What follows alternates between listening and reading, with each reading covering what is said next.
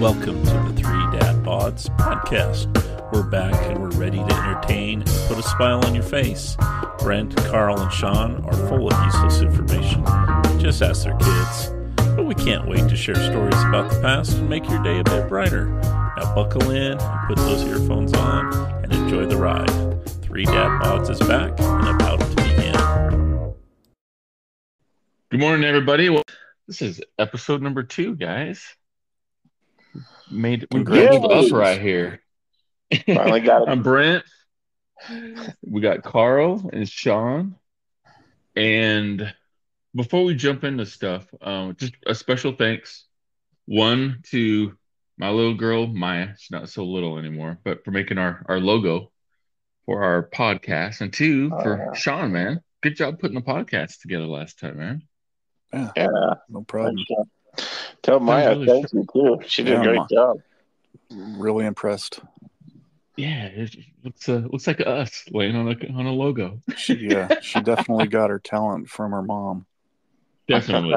I- if you've ever seen me draw, I, I have a hard time drawing stick people, so it can be very very difficult. So I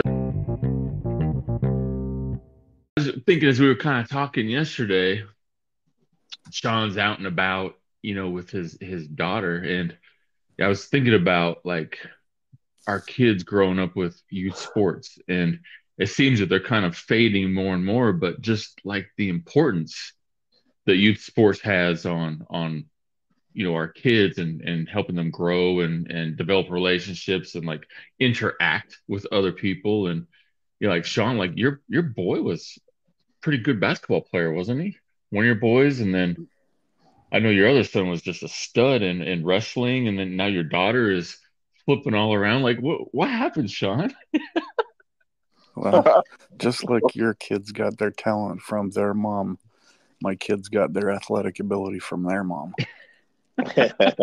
Because I know it didn't come from me. Was your was your was, was your wife an Olympian in her other life, Sean? Um, no, but her family's pretty athletic. So her dad's her dad's really athletic, which is Uh-huh. funny because they don't really play sport, traditional sports. But um, they were um, they were all like world class water skiers and downhill skiers. Um, my brother in law um, used to ski with uh, Picabo Street. Wow Oh, So- wow. Yeah, Yeah, so cool. they're they're very talented. She um she actually my wife was um better at uh, water skiing, slaloming and wakeboarding all that than all the boys in her neighborhood growing up. So that's pretty cool man yeah, plus she was on the um her high school's version of their dance team. Ours was the Spinnakers yeah if you remember. Um, she was on hers. I don't know what they were called. She went to a Olympus High School. Um, so, but my daughter was doing that all day yesterday. I'm, I'm telling you, like I said to y'all yesterday, cheerleading is organized gangs. It is the scariest thing in the world to watch these cheerleaders pass by each other and stare each other down. I, my daughter attended one like years and years and years ago, and, and I actually feared for my life. I was very frightened. Yeah, yeah, yeah. I don't know if you're wrong. Have you seen some of those uh, cheerleading competitions in the South that break out in melees? Holy smokes! Crazy. They're they're they're insane. And then Carl, like I know you're have all your boys been involved in track? Because I know you got the one son who's got a scholarship for it. Who Oh no, no, I had a well, my oldest daughter, she was actually decent in basketball, but she she she stopped after one year. I, maybe it's because I was her coach. I don't know. That might have been a part of it. and then a lot for uh, me. Then my son Tyler, he played uh, one one year of little league football. You know how they put the littlest Yeah. guy at defensive tackle. Well, uh, that didn't go over so well, but uh, he later on when he was older though he he did try a weightlifting. I guess they have a weightlifting team uh, at Pleasant Grove High School where he went, which was kind of interesting. I never knew that that was a sport. But uh, My son's high school had that, and he actually now has the the re- he's not in high school anymore, but he's on the record board as uh, being able to deadlift the the most uh, per body weight. I think the, the Wow. unfortunate thing for my two oldest ones is I didn't. I mean, things have changed since you and I were we were kids. You know, you, you could go. I mean, you could just go out for a sport. You didn't have to worry about paying hundreds and hundreds of dollars and going to Yeah. camps constantly all year round just to play one stupid sport. Now, now though, these kids they have to. I mean, almost in every sport, it's the same. And anyway, it, it uh, affected my two oldest, and then and then Eric, he uh, he's the one that runs in college right now, and he um, he just thought, you know, hey, I'm bored. He and his friend decided to go out for junior high track, and then he got a really good time in the mile. And he says, "Oh, I'm actually decent at this," and so um, he decided to go out for the track team after that, and you know, my my ex said, uh, "Hey, um, you know, Eric's got a track meet this day," and I'm like, "Track? What the heck's track?"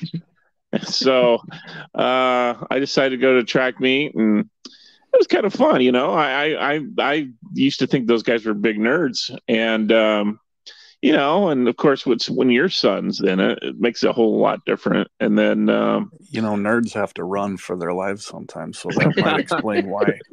exactly, Sean.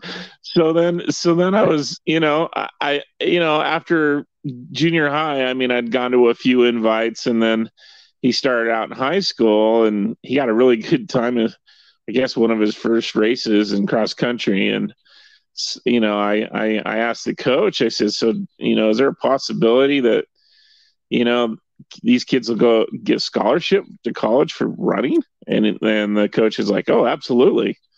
And I said, "Oh," and he says, "Yeah, your son's got a chance if he, you know, works really hard and it's going to, you know, take a while, but he can't have us, you know, a, you know, things like he can't have a job during the school Right. year Yeah. um, and be really focused." And I mean, I didn't do a whole lot. I it's like I wasn't very focused and still am not. And uh and uh but he he he uh he he wanted to do it. He really loves it and and uh so for the next few years I, I became Mr. Track Dad and still am and uh know a whole lot about the sport now. It's been a really fun distraction when I was going through my divorce and uh I've been to a lot of different cities and states and invites and uh, and now and he's taken it to the college level. He went to junior college and then now he's at a D one school called Idaho State, which yeah, you know they're they, they they're okay. Paid schooling. It's paid schooling. That's the only thing that matters. That's Yeah. all that matters. Exactly. he's going to graduate this spring with a, a degree in microbiology, and then Nice. He's going to Wow. get a PhD in the next few years, and he still has a graduate year to run at school, and that'll help pay him. And yeah, I mean, it's his. He's going to have a great life, um, thanks to to a sport. Running. So Yeah. you know, That's fantastic, man. yeah, and I, I think his. I think his.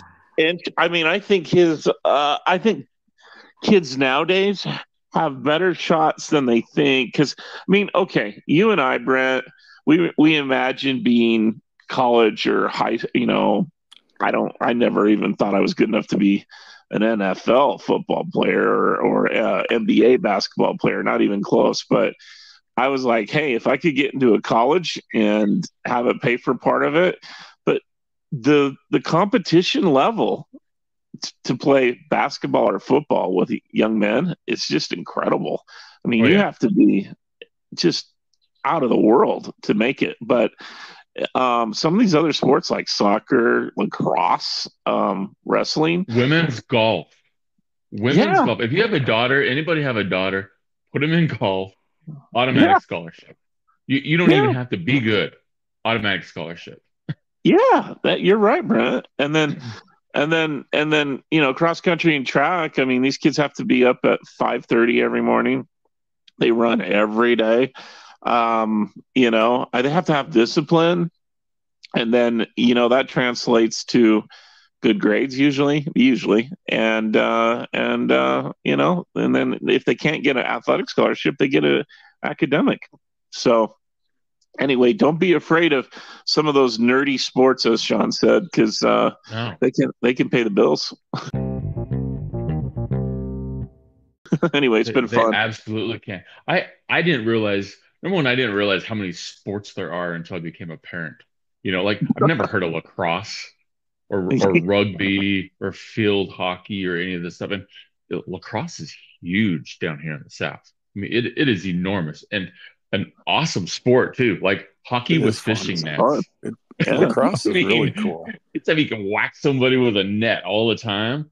That's pretty Yeah. cool, man. the University of Utah has a lacrosse team now. Yeah. They play D1 Yeah.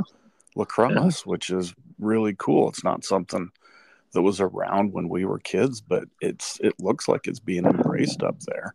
well it's because it was I the remember. east coast thing sean i you know Right. well, It was. yeah. It was an East Coast sport Right. when we were kids.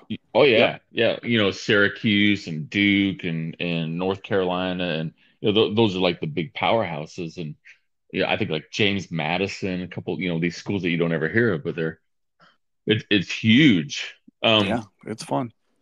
I, Well, I I- remember when my boy was four. So I've I've got to be with with my boy, but I've also got to coach. Some of the funnest times coaching, and it, it's incredible. It's so much fun. But w- I remember we took him down to sign up for baseball. He was four years old, and he was too young, and so all they had open was soccer. and so like I looked at him like, "You want to play soccer?" He's like, eh, "Yeah, sure."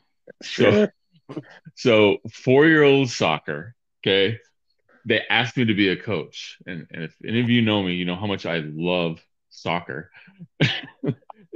but get these little kids that are that are four years old, barely, you know, four year four year olds, you know, and, and they put them on this field, and they have four nets. There's a net on each end, and then an, a net on each sideline, and and the whole purpose of four year old soccer is just to let them go out there and kick a ball, which I thought 4D was soccer. absolutely yeah I, I thought it was absolutely stupid. Why would you teach kids something like that? Because one thing i've known forever children can learn when they're have when they have a repetitive action. And so i started like in, in practice we started practicing going for one goal. And so you had four quarters and every quarter i would tell them that's the goal we're going for. Then the next quarter that's the goal we're going for. The next quarter that's the goal we're going for you know? And by like mid-season, our boys, you know, this jumbled group of kids on the ball running around, they would start the ball would go to one net, but that wasn't their net. So they would slowly turn around and start going towards their net, you know, and, and it was it was the coolest thing to watch these little four-year-olds start to understand, hey, I'm not going for that one. I'm defending these other three. And that's the one we're putting it in over there. Yeah, And- I didn't think about that. That that that sounds that sounds interesting. Maybe I should have put some of my kids in that because, uh, yeah, I I I like you would have kind of scratch my head and go, "What's the point to this?" But anyway, nice Oh, story. yeah. Well, and yeah, when he was get their energy out for crying out loud, four year olds, geez. It is, and little Well- Starbucks parents on the side and stuff. But Well, well, you know, Brent, the biggest I thing when you're that age is um, if you can teach them a little bit of um, focus, like this is this is what we want to do. oh yeah, Go do it. You know, and they start learning how to work with other kids. And I mean, one of the greatest lessons in life through sports is learning how to work with each other and also learning how to um, win and lose with grace Yes. and not, you know, be a big Absolutely. baby or whatever. You know, I mean, it's a- losing it's- is not a bad thing. no, of course. Oh, you just brought up a subject, a sore one for me. Okay, so when I was a coach, my daughter's team, that was years ago. Um, this whole everybody's got a trophy, win a trophy thing started. And that was one of the things that really bothered me, and I think it really bothers these kids, um, especially when they're younger. Um, well, we can't keep score according to the Yep. administrator, and I'm like, why? Yes. well, we don't want them to be discouraged and not want to come out. And I'm like, I, I I looked at him and I was thinking about those years in Kearns Recreation basketball where uh, Bill Reiser's team beat me and my team 60 to 14 or some crazy number like that. And I'm thinking, it scar um, you for life? no, but I'm just saying, no. You didn't even care wanted to- five hours later. You care less. Hey, I wanted to keep it within 20 the next time we played, you know? But uh, yeah, I mean, it just made you work harder, It made you want to be better. But the kids ignored it, though. Those kids, uh, you know, you'd coach them and they'd be like, "Hey, what's the score?" I just, I just look over to one of the girls on the bench. Okay, what's the score, Amanda? She's like, "Oh, we're down by four. I'm like, "Okay, great, great, get out there, guys." so, Yeah. um, yeah, it was. when I you don't, don't, when you don't keep score, yeah, it it changes the way you play the game too. Because True. if you're ahead, you're probably going to slow that tempo down a little bit. If you're behind or if it's close, you're you're working up different plays. Yeah, it, it's it's so foolish not to have Well- score. Well, Oh. Brent, let's talk about your son. Um, and your, I don't know with your daughters if they were as involved, but I mean, I remember uh, over the last 10, 15, 20 years, you would, you know, comment on Facebook or, you know, I'd talk to you on the phone and you'd talk about your son and, and your son went out for uh, multiple sports, correct? And tell us what was, how did you, tell us how you raised him because it seemed like he had a lot more balance than a lot of kids that I see now. And it was interesting. He gave up some opportunities to just do something different. Can, can you go kind of through that and kind of explain to the audience what what happened with your son? Well, first of all, he had really great teammates and very good coaches, which makes all the difference in the world. When when you have a group of boys like we were, we grew up together. We did everything mm-hmm. together. And, that, and that's what he had with these teams that he had was a group of boys that they were always together all the time. They got along. They they had a lot of fun together. Um, I coached him in football when he started at five all the way until he got into, into middle school. And probably the funnest team that we had was when he was nine years old. And, and I'm to tell you, nine year old football is big boy football. It may sound like nine years old. They hit hard and they do things you would not believe. We taught our boys no huddle offense. So at nine years old, they would run a play. The line would get up there, stand by the ball. The the the um, backfield players would run up, look over to us. We'd do these hand signals, and then they'd go. And that that nine year old team, there was a rule in football where if you were if you are not within 34 points after three quarters, the game's over. We never once played a third quarter, and we allowed one first down the whole entire year. And and the way it went in the beginning, it happened a little more. And at the end of the year, we got a little more respect. But so our boys would show up to as as you come to a game, you have a weigh-in. Everybody's got to go on a scale, and if you're above a certain weight, you can only play on the line. Which we had those boys set anyway. And then everybody else was, you know, position players and stuff. So our boys would show up, bunch of kids, all these other boys on other teams are mocking them and everything. Our boys wouldn't say a word. They just stood straight ahead, went in, weighed in. We got ready, we warmed up, and every time we would always choose to kick off, and we would onside kick every time, every single time. We would we would point to a boy who probably looked like he couldn't catch too well, and that was the target. That was the target. And and the way the game would go is onside kick, recover, one play for about 15 yards, second play, touchdown. Onside kick, recover the ball. And remember, we're running no huddle offense. So they don't know what's hitting them. I mean, it- it is quick. Within five minutes, it's 21 to nothing. And they don't even know what happened. And, and that's how it was. Brent, wasn't there a high school coach and and he tried coaching us in college where he would never punt on fourth down, and it was just recently actually. The guy, um, High school, Alabama. yeah, he yeah he was down your way. So yeah, Yeah. that that- Coach Kelley. Yeah, if you he, if you look Coach Kelley up, No On the field internet. goals or extra points either. All two point conversions. all the scores were like 80 to 14 or 80 to 30. It was crazy. Yeah. Anyway, And- same thing. And then, even huh? his subs kept running it up. And Yeah. and, and his Yeah. philosophy, which is brilliant, we teach all of our players to go 100%. Why would I have my third string players not going 100%? What does that teach them? well, yeah, yeah. I think some of that's translated into some college teams because, I mean, when you and I were growing up, you never, I mean, rarely would see a college team go for it unless it was like fourth and inches, Oh, yeah. right? Now you And, see it all even the then, time, even then it was rarely. right? Yeah, now, now it happens. If if you watch a like like with the University of Utah, uh, Kyle Whittingham, he goes for it three four times Yeah. at minimum a game now. Well, the, in, in the Super Bowl, the Philly Eagles coach, the he, Philly, yeah, yeah, he goes for it on anything on, under fourth and five, under you know at a certain yard line, he goes for it. So, uh, yeah, it's changed. It's changed. But so you were having these guys do that. This was years ago, right, Brent? Just Oh yeah, knocking th- it this out. is Okay. nine years old, learning no huddle off, and again, it goes over repetition, repetition, repetition, repetition, repetition. And so Well- he, he had football, yeah. he got into baseball, travel baseball is, is what we got into, which that's what our summer vacations were. We would go Yeah. to Atlanta, we would go to you know, Alabama, we would go to Cincinnati, we would, I mean, we traveled everywhere.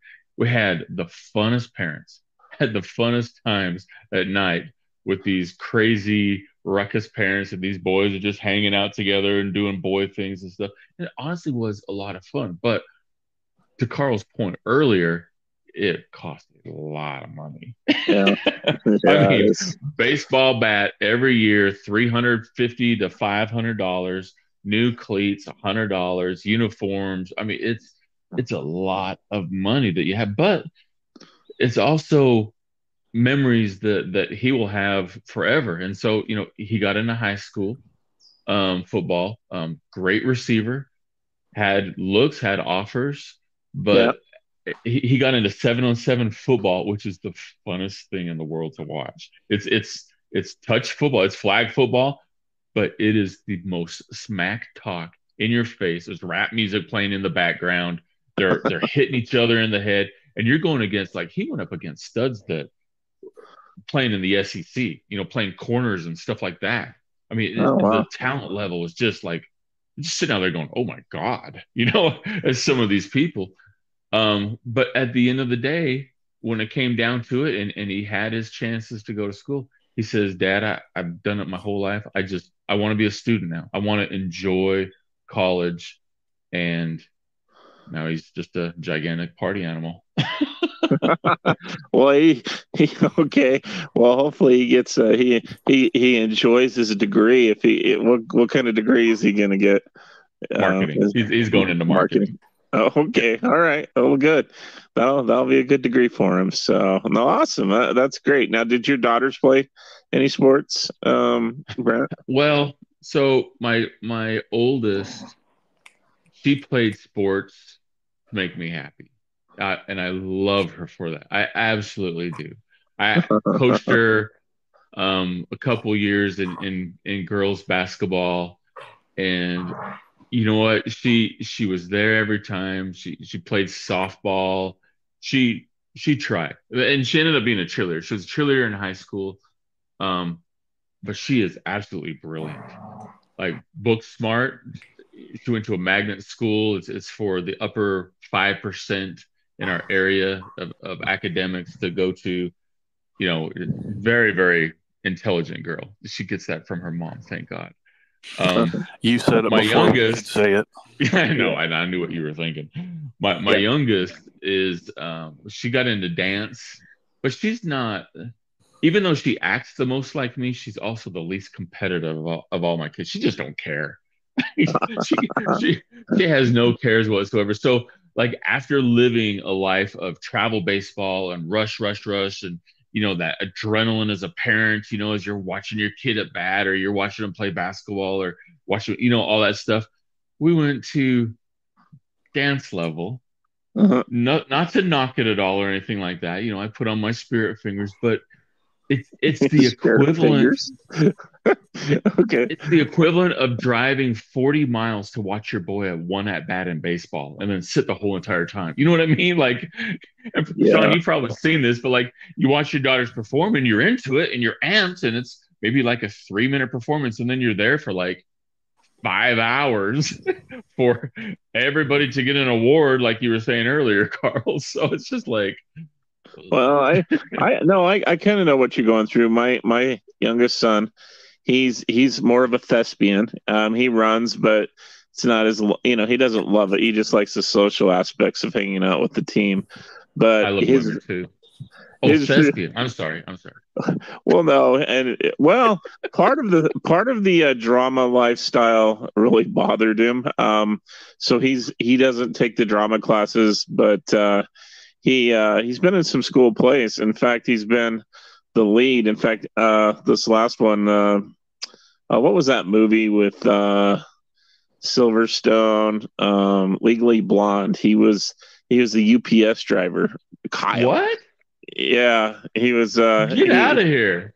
yeah, and so he dressed up in the sexy UPS outfit and struts on stage and does his lines and the dude just loves to be on camera and uh and entertain people and uh you know I I mean I don't know if he can do anything with it later in life but uh you know it's it's made him happy and he enjoys it and and you were talking about driving 40 miles we don't have to drive that far but um, I do. I mean, uh, you know, I, I've been to plenty of these plays sitting in the cramped seats at this high school, uh, you know, um, auditorium, and um, I, you know, it's almost over. He's he's almost graduated, so. But uh, but yeah, those kids too, man. I mean, I you won't believe how much he has to pay to go to uh, a thespian trip, as I call it, to New York this year. They're going to go watch Broadway plays and and Wow. it's for his choir. Yeah, that's what it is. Is his uh, choir. But anyway, it's it's crazy, man. But they keep these kids involved, you know, and that that would be one thing where I must admit that, and I don't know what, how you guys feel about this, but I mean, I I didn't have as many opportunities um, when I was a kid. Um, I mean, sure, there were different lessons and different things we learned, but I mean, geez, these kids can do. I mean, they get to do a lot of cool stuff, and Yeah. except for that COVID period, um, I mean, I I I'm kind of jealous actually, to be honest. Well, and like the we didn't have the avenues that kids have now. And Right. um but for example, like my boy has been coached in baseball by former major league baseball players. You know, I mean, he's had lessons from from former pitchers and, and from former, you know, infielders and stuff like that. And so like we didn't have accessibility to stuff like that. You know, there's there was nothing like that at all for us. And then the you, these groups that you get in that like my son was part of this it's called college bound athletics and it's where they helped parents and help the kids get into school they would get them in front of other coaches they would you know push them and, and get them game tape and hey i got this boy and you, you know it, i mean it's actively pushing and like this group that he was part of 90% of the boys that played got scholarships not all D1, not all D2, some D2, D3 and stuff, but I mean, they're still getting scholarships. And Uh-huh. so Yeah. huge push because there's there's so many more schools that offer scholarships that than what we had. You know, you had I mean, Salt Lake Community College was built when we were what, like probably early teens, you know, maybe just before that. Yeah, be- before it be- was the community college, it was Salt Lake Technical College, and they Salt Lake Tech. changed. Yeah, they Yeah. they changed the the focus of what the school was, and Mhm. it became a community college, and they embraced. They started embracing sports. You look Oh, at like right. Utah Valley, you know, that was what was they were what Utah Tech or something, or they were Yeah, UVCC, something like that. something like that. yeah, Oh, one th- one thing to remember too. You just brought up Salt Lake Community College. Um, you know and when i was growing up you know well these kids now when you're when you're talking to them in their high schools and you know everybody wants to go um, well here in utah everybody wants to play for the university of utah or everybody wants to go play for byu and Not the reality everybody. is well Mm. you know the smart kids want to go to byu Oh but uh, yeah, there you go. But no, the uh, the the the reality is this: there's so much money that these D1 schools have, um, and and because of Title, what is it? Title Eight. Um, the, you know, football takes a lot of scholarships at these D1 schools, D2, you know, and the also the D2 schools actually, and you know there are fewer scholarships at the track level, baseball level. In fact, you hear all the time that, oh, well, this kid was amazing in high school and he got a partial, he got like 500 bucks per year. And like, $500 is not going to pay for a college education.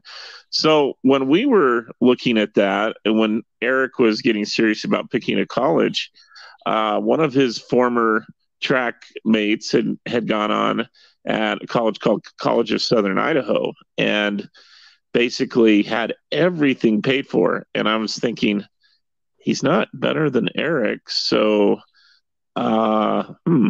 And so then when we were starting to look at the D1s and Eric wanted to look at a D1, and I was like, yeah, well, uh, I, I said, just, just keep in, just keep, keep this thought in your head, Eric. The first two years of your, of your college education are general eds anyway. Uh, Right. you know, cares. no one cares. Yeah. And if someone's going to pay for those two years where you don't have any debt, you don't have to go to work, um, and they, they pay you to come, pl- you know, to their school, take it. and so, uh, yeah, in College of Southern Idaho, they they they had just started their program, you know, the year before Eric started there, um, and um, you know, and they immediately were really competitive. In fact, uh, you know, he got to go to several national championship events. He he would have never got that experience at most D1s. He would have been on the bench. Um, I mean, he's a good runner, but he's not. You know, he's a little bit of a late bloomer, as you'd say. Um, in in in and so maybe his best, you know, running years are still ahead of him and uh, but you know some of these kids can run as fast as any college kid when they're 15 and so um, you know he wasn't that kind of a runner. And so when he had that opportunity at the junior college level he took advantage of it.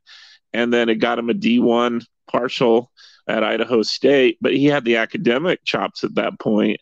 And i mean the kid had a you know a 4.0 gpa going into his last two years of college. I mean, it, it, makes it a little easier process. So don't dismiss junior colleges as a waste of time. I mean, those those those are great opportunities in the right situation. So take advantage of them. If you have kids that you know are are fairly good, um, but aren't superstars, you know, um, if they right. still want to play that sport and they still want to do it, um, there are plenty of opportunities on the JC level. Anyway, had to make that plug. Right. I, you know, what, what baffles me, what I don't understand is, you know, we hear all this conversation about canceling student debt, canceling student debt, all that stuff. What yeah. I don't understand, especially when you look at Power Five schools, they have so much money. I mean, you, you, you look at how much since the University of Utah joined the Pac 12, look at how much that campus itself has changed. You know, there, there's no need to keep increasing tuition when you're getting billions of dollars off these contracts. And if you don't believe me, go take a walking tour of the University of Alabama. And I am telling you, you step on that campus, it is one of the nicest campuses in all the country because well, of the amount of money that is brought in. Oh, well, you're, you're, not wrong. I mean, I yeah. remember I remember my time over at the University of Minnesota, and yeah. there was, I mean, there was a, a lot of money there, you know, and everything is gorgeous and beautiful, and part of that is that it's, you know, over a hundred years old, and so they've had hundred years to build all that up, but there's a ton of money, and but that Big Ten money, yeah, funnels yeah. in. and, and you're Well, going to see them well, at well, let me ask BYU these upcoming years when Well, that Big 12 you a these quick- upcoming years when Well, that let me Big ask you 12 a money comes in. Brent, where why is the money at Alabama going to Saban and the buildings and not helping out the students more? Well, uh, and and that that's what I don't understand because you you've built. Let's reduce the tuition so we can get more students in, make it an affordable place to go. It, I don't know. It, it just makes too much sense, especially since they're state-run institutions. Every child should have a free education in a state-run institution. That's No, there's opinion. a there's a lot of. uh I mean, this, Who is the number one public paid employee in the state of Utah? Kyle Whittingham. Kyle Whittingham. It's it's Not that for every close, football yeah. coach in every state. Yep, exactly. And it's not even close. Yeah. Between second place. Yeah. Yeah. And I that, think- that's more than the governor of Utah, man. So just think Yeah. about that. I've seen the Well, he's governor of done Utah. more. He probably doesn't He's deserve done more. what he's making. You guys are dreaming. Kyle, okay. Oh, let, let's uh, let's I, I let's ask that question. Uh, When is Kyle going to retire, and are they going to name the stadium after him? No, they won't because uh, that changes the uh, dynamics of donations. But they Oh. would they would certainly do something like uh, BYU did and name the field after him, Kyle Whittingham Field at, at Rice Eccles Stadium. I can see that. I can see that. Yeah, I can see that with a statue of Kyle out front in his uh, shorts and uh, and uh, or and his uh, calves.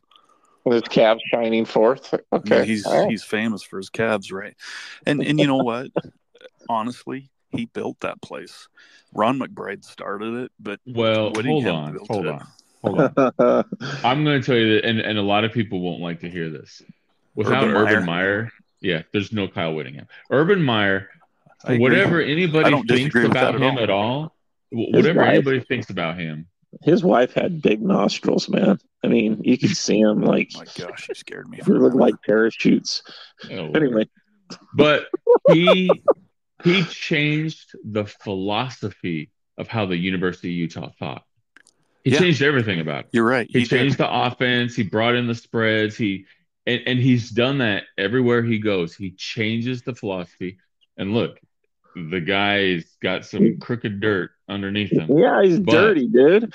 But I mean, there's no doubt that the guy knows how to get the best out of every player. kids. You look at Alex Smith. Alex Smith was a nobody.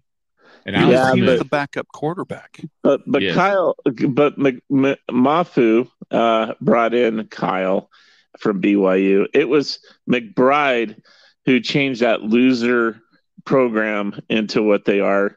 Uh, he, he he's the one that triggered the change. I mean, but you let's guys be were- clear that it was only loser during the LaVell Edwards years. Oh. Before that, there were no wins from BYU. Okay, I mean, uh, the no, win loss BYU record isn't even close. Oh, but they, they peeled off like ten or twenty games in a row. I remember. I, Oh, and was- then I was, lost I ten was or twenty in a row. I was. well, now they haven't. They lost five, five, and they, the last one BYU won. Let's they, let's be they let's did. be It was a ni- it was a nine game accurate. losing streak for BYU. Come on, get the number right. ah, you you Utes always changing history, but that's okay. What? Go look it up. You, yeah, This is- yeah, It's called you're record. just showing. You're, you're showing You're why not you even a didn't go to Ute college because anymore. you can't Brent. add up to nine. You've turned but into I still, but I still love the University of Utah. I mean, you grow up with it. You you never take that out. I I watch them as often as I can. Um, you know, I cheer for them as often as I can. But like, you know, I'll, I'll be honest. I mean, after paying two kids tuition, I'm a University of Tennessee fan, I don't Yeah, blame doubt about it. should, and should be. and there is nothing at all. You guys have to come out. I'm telling you, I know. you got to come We to a keep football talking game. about that. Well, when are we going to do it? Uh, So, in fact, that would be a great way. That would be a great podcast. Um, uh, three of us in uh, Knoxville, um, night before Oh a my game. Absolutely love it. Yeah. Hey, you know, I hate to disappoint you guys, but um, I, I can't stay up past nine anymore. So it's not like it would be. we'll go to an afternoon game. We can do it in the morning, Sean. I'm just, I'm feel just better. saying, if you guys are saying, "Oh, let's go out and have you know, some dinner and all that. Okay, but you know, We'll do one of them I'm afternoon stage games, in life where I go to the four o'clock tailgating. buffet for for dinner now. Are you your grandpa now, Sean? I mean, you, I am. literally? Okay. All right. All right. That's, that's the curious. Dale that I know. And, and so are you guys. you just haven't admitted it yet. Did you just call me Dale? I did. yeah, you did. Gosh, Well, Better be called your mom. well, that's true. That's what people we were out last out. night till like ten thirty. We got an Uber and everything, man. Which, by the way, I love Uber. Uber is like the greatest thing because Oh. I don't have the patience to park downtown. I could do a whole podcast on being a Lyft driver. One one one year when I was going through my divorce, I uh, I, just- drive you know, Uber. Yeah, for some extra you did money. too, didn't you? Yeah, yeah. Yeah, in this town, stories. it is so easy to make money in Uber. There's so much always going on. You know, I've taken Uber in Nashville. Yeah, yeah, it works. It's- it's it's great, man. I, I and um, man, Sean, like since you've been here last, you wouldn't even recognize anything at all. Is that It has changed so much. That's crazy. Oh my um, It's Oh, just building. I- last time I was there, there was a ton of construction in downtown, so Still. it doesn't surprise me. Can you can you imagine? So, okay, so I don't know. I don't know if Carl, if you've been to Nashville or whom, yeah, one Yeah. time. who's listening Yeah. has been to Nashville, but not far outside of the where the airport is, is the home of Andrew Jackson, right? So the the Hermitage. Can you Hermitage. Imagine those people mm-hmm. at, at that time in the 1800s, 19th century, being able to get a, a, a preview of what was coming, you know, in a Oh hundred years goodness. and what they would think? Like, Oh. It would blow their mind. The fact that they didn't have air conditioning back in Nashville during the 1850s, I wouldn't want to live there. They didn't No. have air At conditioning, home- but they did have mm. smallpox. Well, that makes me feel better, Sean. I mean, yeah, give me some pa- smallpox and, and let me die on the veranda. Yeah, when you sounds tour the. Hermitage, it still doesn't have air conditioning. So when you go in the summertime, it's like being there in the summertime. I mean, I like that. It's like being there in the summertime. oh Yeah. man! But like the way they built the houses, I'm, I'm going to tell you, it's not incredibly miserable. I mean, it's a it's a little warm, but like the way they built things then was to accommodate for that. And look, you know, we come from air conditioning and have cool on our skin and all that. If you grew up in that stuff, you you wouldn't be like, oh, this sucks. You know, Oh, it's they just life. they would It's probably Tuesday. think everything is so cold, you know, an air conditioned home is freezing. What's wrong with this place? Yeah. Open the windows, get the breeze blowing through here. So, what was your point about the Hermitage, Sean? I, I kind of messed that up. the, it's it's just outside of The downtown. changes. It's just outside of downtown. So Oh, could they Okay. can you um can you it just for me i think golly can, could it back then if they if they could have seen what that part of the world had become because it was it was fr- that was frontier Yeah. country oh, right yeah. Wow. so much further Well, and where the Hermitage was, than that way it was uh, all uh, territory of the um, native americans so Can you That's a imagine. Oh, yeah. like Phoenix, like like people around Phoenix? no even even in like 1901 or 1902, you know, like not you know 100 I- years ago. I hate to tell you this, but from the '60s, I mean, I I've talked to people that moved here, Yeah. um, in the '60s. It's like and they're St. George. It's a It's like St. yeah, George in the 60s. yeah. No, it's, this is the sixth largest city in the country now, Yeah. and in the Yeah. '60s, it was uh, like you said, St. George. Nothing Yeah. here, and that's because uh, air conditioning wasn't big. yet. Exactly. And and piping water in. My question is, how are you guys going to survive in the next 20 years when there's no water to drink? There's plenty of water Oh, where, just- where though? For the underground. for the vaccine. For the vaccine. underground. It's uh in in Arizona they they there it's it's kind of amazing here. They they pump water into the ground all the time, just constantly. So there's just there's a lot of uh, groundwater down here. So plus we don't have uh we don't have um the watering issues down here like you do up there. And nobody has Carl. lawns. There's no lawns down here. I mean, their Oh, yeah. backyards are very common, Well, you know, front funny. yards are not. Most people don't have a front yard down here. Well, for those people listening and uh, live in Utah, uh, I was reading the, uh, an article the other day in the KSL. They were talking about the Great Salt Lake drying up. And, you know, we already have in Utah during the winter inversions and uh, Yeah, they're terrible. some of Yeah. the worst air in, in the United country. States. Yeah. Well, they say uh, with the Great Salt Lake drying up, and if that happens within the next 10 years, that the air quality is going to be incredibly worse Yeah, you're all going to get lung cancer. yeah. So, Yeah. Yeah. so I've got to figure out a comfortable place to move that, uh, um, you know, I, I've, I've been tempted, but that humidity, I just, I, I, I've been in that humidity. It's horrible um, you get, during you the get summer. used to it. in Nashville, if you visit it, you get used it's to it, worse. it's it is Yeah. bad. No. I mean, It's I, just nasty. I can't tell you the number of times I've been out in the south, southeast. Oh, I know what it's summer, like. and I've got sweat down to my belly button. You know, Oh, my shirt yeah. looks like I You poured walk out, you all just over drip. myself. It's it's crazy. But I will say one thing. In the West, well, yeah, in the West, if you go, if it's 105 degrees and you go under a tree, it's still 105 degrees. yep, that's in the true. South, if it's 90 degrees, which anything above 90, you just want to just die. But Die. if you go under a tree, it drops 15 degrees. Really? I I mean, thought it was true. cool.